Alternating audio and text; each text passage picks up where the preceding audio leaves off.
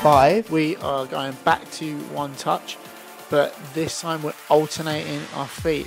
So this is all about adjusting your body shape in order for you to get the best possible touch on that ball. And again, you can see Aiden's body shape, knees are nice and soft.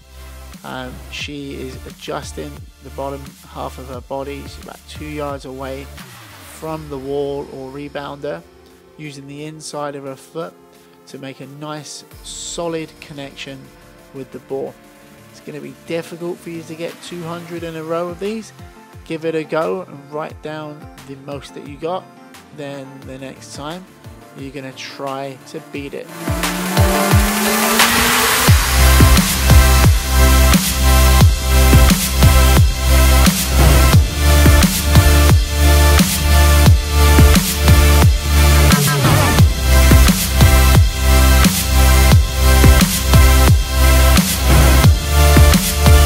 If you like this series, don't forget to subscribe to the Players First and US Club Soccer YouTube channel below.